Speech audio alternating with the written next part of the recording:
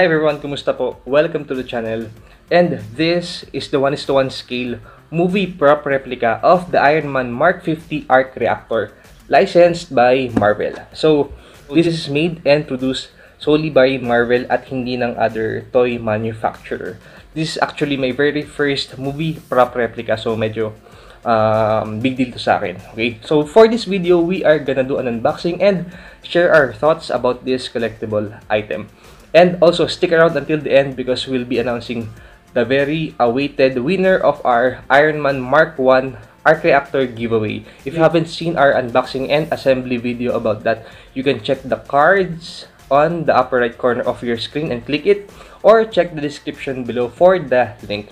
By the way, anytime within the video, you can check the description below. I'll be putting the link for this collectible item as well as the list of equipment and gears that I'm using in order to make content for this channel as well as their respective links. So, kung interesado ka sa mayon, check mo lang yung description sa baba. So, let's start with the unboxing.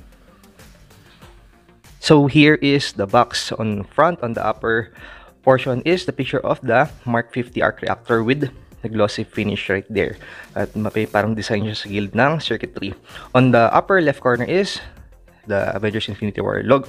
And on front, there's nothing. On the side, Marvel Avengers Infinity War. On the other side, same lang din. And at the back, nakalagay dyan, marvel.com. Then some, um, may parang holographic sticker siya for authenticity. Then other warning and information. Um, so, let's unbox it na.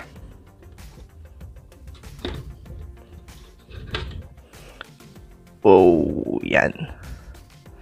So, on the other side, on the other side ng ano ng ng cover, may parang direction siya. Naka-tape lang nga eh.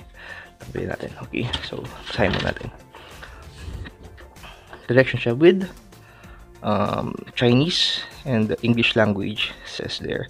Picture of the Mark 50 arc reactor says there. Slightly touch the bottom on top to turn on the light in some directions. And other direction pa rito then pwede mo siya ilagay sa um, chest mo. Uh, ipit mo lang siya sa, sa sa damit mo sa shirt mo. And masusupport mo siya via nakasupport siya via magnets there. On the back um, same lang din. Actually same lang din pareho lang. Nakaprint lang siya back to back okay? And here is the arc reactor. Um, ang tignan mo natin is yung arc reactor ito. So, ayan. Whew! As in, 1 is to 1 replica talaga siya. 1 is to 1 scale. Na, siya ng plastic. There. Hmm. Parang nakaipit. Paano ba natin Okay.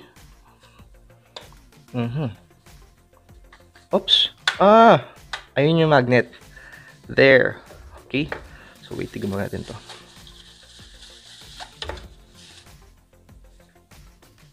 Plastic.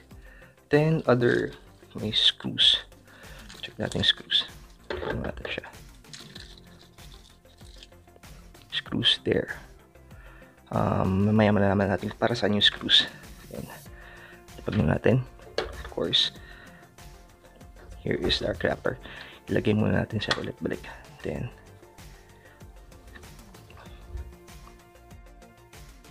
and okay ayun. There. Parang arc reactor and the other one is this is the I believe the stand. And this there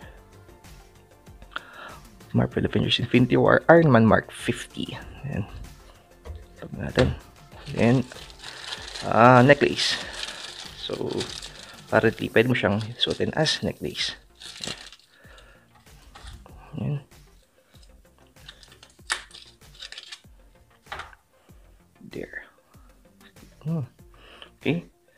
Another is this. Parang, okay, acrylic arm. There na, kailangan mong pilasin to. So, pilasin natin siya ngayon. Yan. Whoops. Okay. So, yan. Then, Ah, meron pa ba? Meron pa. So, yan, wala na. Yun lang ang kasama sa package. So, let's take a closer look. The package includes the arc reactor there and I believe ito is yung para sa stand. And the base stand arm and the stand at necklace as well as some screws and bolts. Tignan mo natin yung arc reactor. There. So, yun. Details. Grabe. Ganda. Um, yung center part is yung kung saan umiilaw. Parang hindi siya glossy. Matte siya. And there's, makita yung details. Ganda. Uh, hindi ko lang sigurado kung ma-appreciate nyo on camera. But personally, ang ganda niya guys. And then the back.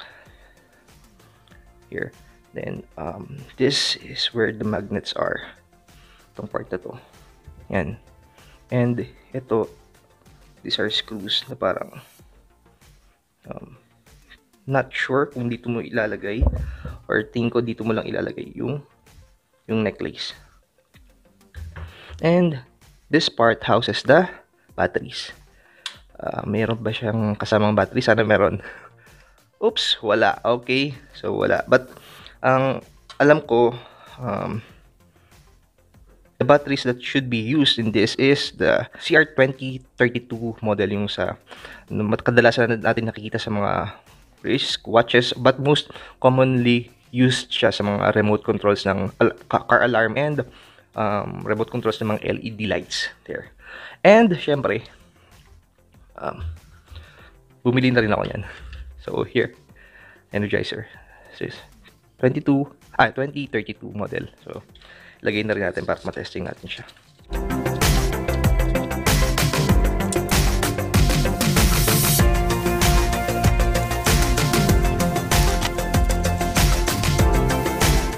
Okay, so here are the CR2032 batteries. There. So, lagay natin siya. This side is the right sa positive side sa taas there oops. So apparently magnetized din siya. Oh okay. So this part hindi hindi siya magnetized. Hindi siya, siya magnet. Wonder kung ano to? But this part ito lang yung magnet. So yan. Kita nyo naman. There. Anyway tuloy lang natin.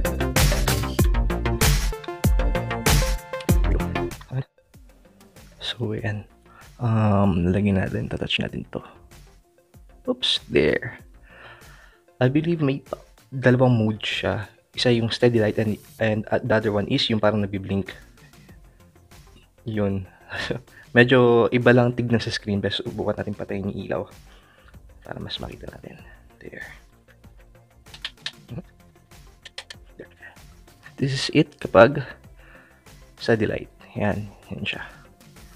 Subukan natin yung completely dark. Yan. Yan siya. Then, kapag yung blinking, yan siya. Just edit yung shutter speed natin. There. Yan. Yan siya. Kapag blinking. As you can see. Um, di lang ganun kalinaw, but para siyang nagbibit. Um, sa camera, iba lang yung uh, nakikita lang yung lines. But, um, parang siyang tumitibok. Ayan, there. Ang pangit lang. Hindi lang ganun kaganda talaga yung camera na gamit ko ngayon, guys. Ayan, there. So, ako lang. Pag nagla-line siya ng ganyan, hindi siya actually na, uh, sa personal, hindi talaga siya, nag, wala talaga lines na parang nagpo-project sa kanya. Nasa shutter speed lang po ng camera ko. Hindi lang ganun kaganda. But, um, para siyang tumitibok. Yan. Pag, yan, pag, mga ganyan siya, pag nakikita niyo parang lines, ibig sabihin parang nagdidim yung ilaw niya. Then, kapag nawawala, nag-steadying light lang. Yan. So, steady lang natin siya. There.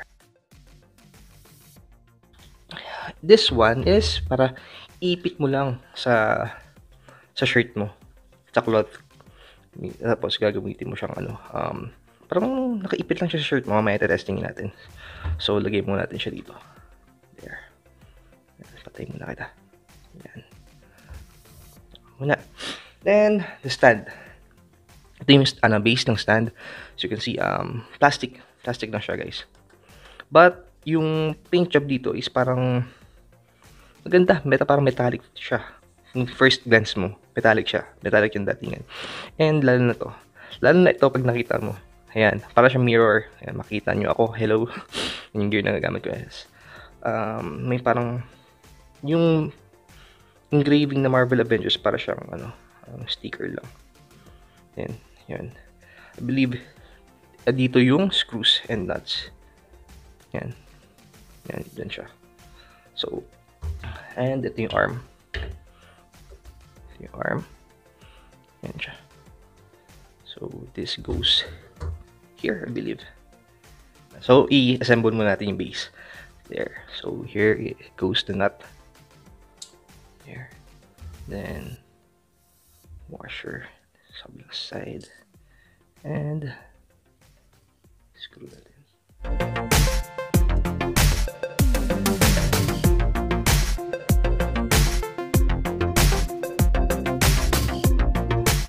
By the way guys, this uses Allen screw. You see right there. And of course, this one. Um, kailangan mo rin siya ng, uh, gagamitan mo rin siya ng screws para ma-fit siya dito. There.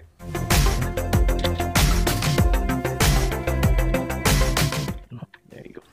So that's it. That's the stand and fuel please the arc reactor. Ganyan lang. There. Yan yung tsura niya. Talaga, guys. Yan. So, let's take a look at the necklace. There. Necklace is parang stainless siya. Sana hindi siya cheap lang. Pero mukha naman siya hindi cheap na, neck, na necklace, na chain. Sorry, chain. So, mangyari dito is This is the lock. Tingnan natin. This one. So, tingin ko dito. Nakalusot yung necklace. Yung chain, sorry. There.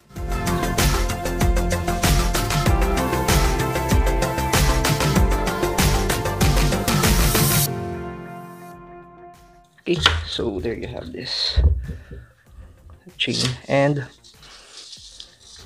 Hanapot na siya sa arc wrapper. There.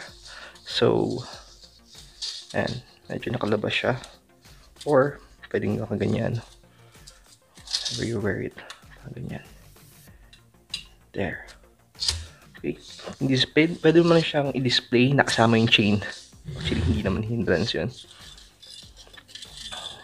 Like, ganyan. Okay. Yan. There you go. Okay. So here it is again side by side guys. So together with the stand and the arc reactor, displaying it will be around 7.5 inches in height. Then um, yung base niya is solely for the purpose of this piece. Pwede mo siyang um, ilagay kasama nitong part na to. Ayan. Like, so, but, um, hindi siya ganun ka-secure. Hindi siya ganun ka-secure talaga. Pero pwede mo siyang ilagay. Yan. But, yung base lang talaga niya is for the sole purpose of this part. Meron siyang support dito and here para lang sa, sa piece na to. Then, yan. Pag, ano, uga-uga mo. Secure naman siya. And for the base, although yung base niya is parang pasadya na parang for museum or display purposes, um, I think it would be nice kung parang ang style niya is parang diorama type, parang may nanotech um, base siya, ganun, na angkop pa rin sa movie. Parang full, ano na siya, buong complete package na siya na movie prop replica, ganun. But the base is um, really good. Yung, yung base niya, yung arm, the acrylic arm, actually solid siya na acrylic. Yan, solid siya na acrylic. Yan. Um, yung kapal niya is 1 cm thick. So, hindi siya, ano ah, hindi siya narrow na acrylic. Ano siya, talaga solid. Although yung base niya is hindi ganun kabigat. Parang sinusuportahan siya ng weight nitong acrylic na to. And, although the base is made of plastic, yung paint job dito sa Avengers logo. Baano mo natin? Avengers logo yan. Uh, para siya matte, uh, metallic matte finish na rin. So, maganda na rin.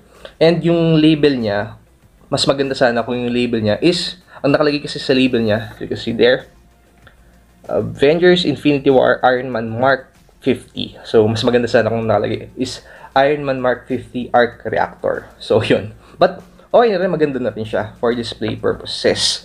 And uh, for this part, the chain, and I really don't see myself using it kasi um, kapag gagamitin mo siya yan, sa shooting ko, um, sure natin. Dito siya, sa, malapit na siya sa lumalaki kong tiyan. Ayan. So, pwede ko siyang bawasan hanggang dyan, para sa, hanggang siya sa chest ko. But, uh, actually, um, this part, which has the, this part which has the magnet, this is a neodymium magnet. So, if I'm not mistaken, um, strong magnet naman siya. So, kung gagamitin mo siya dito, yan, sufficient naman siya para mag-hold dun sa arc reactor. Yan. There. Yan. Sufficient naman siya. Oh. Yan. Actually, kahit umuga ka. Ganun. Uh, matibay naman siya. Secure naman siya. Yan. Yan. Secure siya. Yan. So, hindi mo na kailangan ng chain. And, um, another thing is how I wish yung sensor niya is hindi dito sa top. Yan.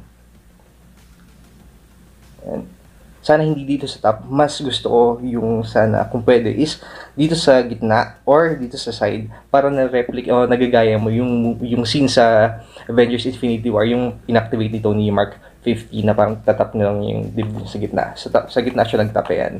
But I understand kung bakit dito nilagay kasi nga kung sensor switch is nasa gitna, uh, pag umilaw yan, ma makikita yung sensor switch, mabablock ng sensor switch yung luminance ng ilaw. Then, but, mas maganda sa kahit dito sa gilid. Yan, or dito sa baba. Ayan, so na-activate. Then, um, lastly is how I wish that this uh, collectible figures or collectible items that has um, light up features has external power source. Gaya na lang ng Mark 1 arc reactor na ginawa natin. It can be powered by a 5 volt power source via USB. So sana um, yung mga gantong collectible item na may lighted features ay may ganun din at hindi lang um, battery source.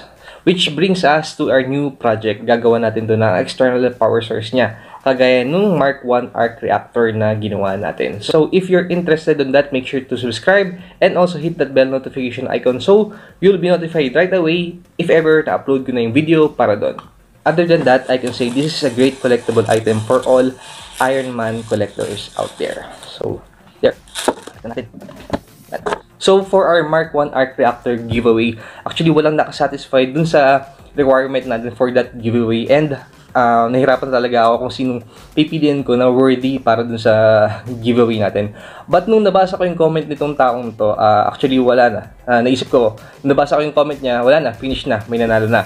So, congratulations to Maya Cusinero. Actually, um, uh, nung nabasa ko yung comment niya, um, uh, na, nakapag-decide na ako na siya yung worthy na manalo, manalo nung Mark 1 Arc Reactor natin. So, congratulations. I'll be contacting you by the comments below. Just please respond. Okay? So, that's it for now. If you like this video, leave a thumbs up, share, and if you enjoy this channel's content, make sure to subscribe and don't forget to hit that bell button so you'll be notified right away for any future content from this channel. Again, thank you very much for watching. This is RCHD and I'll see you in the next video. Peace. God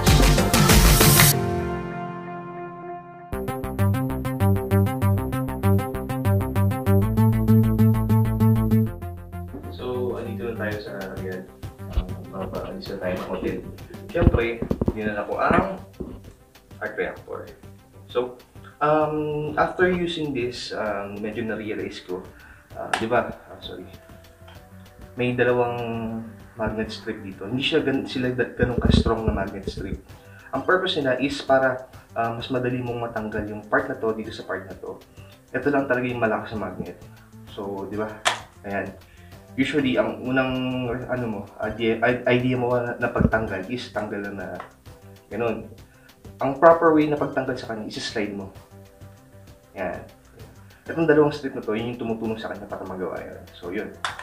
Yung dapat kabit din slide ganun. Mas madali siyang gawin and yun yung proper. So, and the chain, ito yung chain, uh, medyo hindi ko siya ano, uh, pintulan pero nilagyan ko na ng other hook dito para medyo maikli siya para abot sa chest ko pag nilagay na sinod na. So, suot na natin.